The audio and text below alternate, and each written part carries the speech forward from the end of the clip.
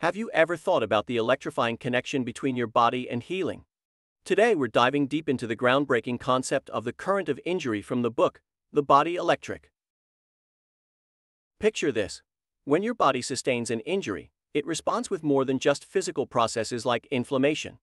It actually generates a unique electrical current right at the site of the wound. This electrical signal is like a beacon, guiding specialized cells to migrate to the injured area. It's a natural communication system within your body.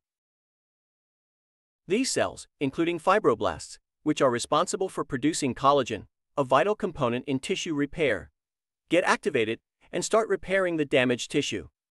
But here's where it gets truly fascinating. The current of injury doesn't just stop at repair. It's also a key player in tissue regeneration. Dr. Robert O.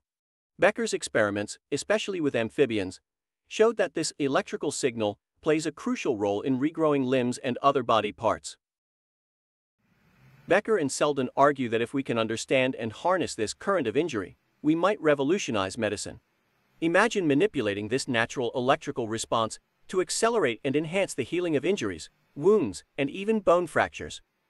In a nutshell, the current of injury is a concept that suggests your body generates an innate electrical current at the site of an injury, acting as a signaling mechanism to guide cells, promoting tissue repair, and sparking the remarkable process of regeneration.